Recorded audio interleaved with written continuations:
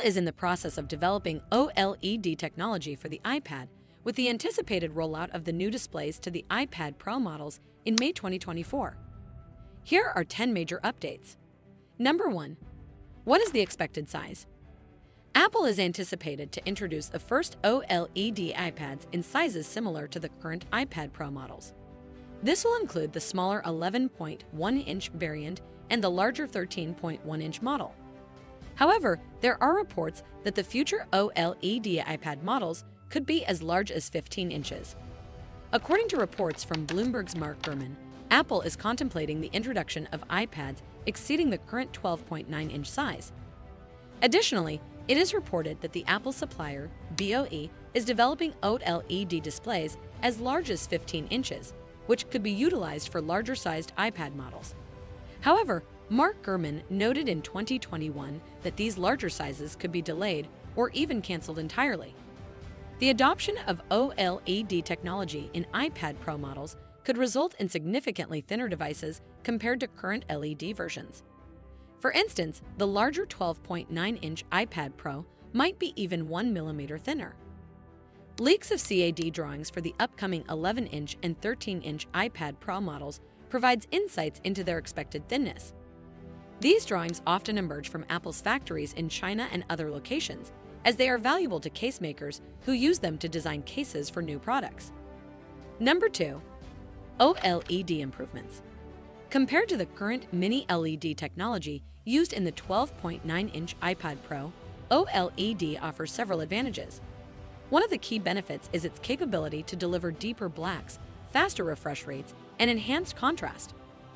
OLED's ability to individually control the brightness of each pixel ensures that content utilizing high dynamic range lighting, such as TV shows and movies, appears remarkably realistic and true to life.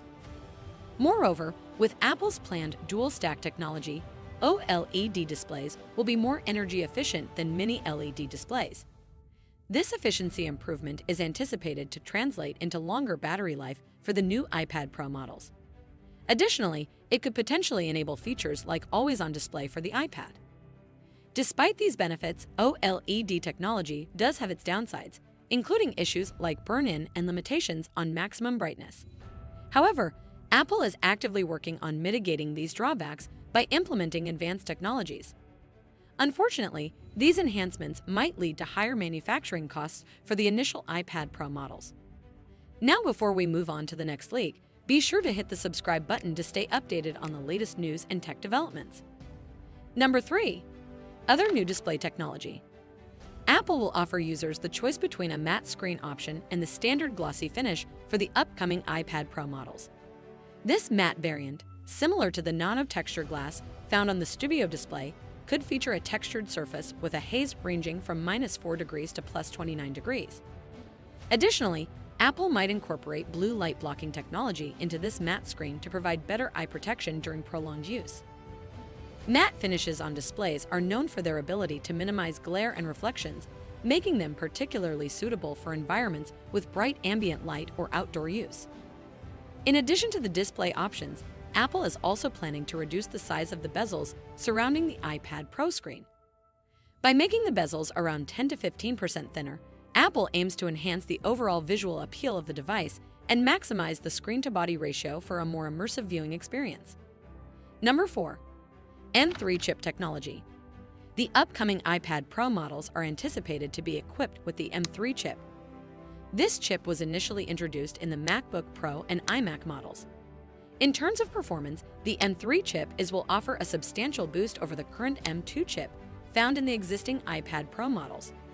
This includes enhancements in both CPU and GPU capabilities, allowing for faster and more responsive operation, smoother multitasking, and better graphics performance. Number 5. Front-facing camera the upcoming iPad Pro will feature a front-facing camera positioned on the side of the device rather than at the top. This adjustment ensures that the camera remains upright when the iPad is in landscape orientation, unlike the current model where it's only upright in portrait mode.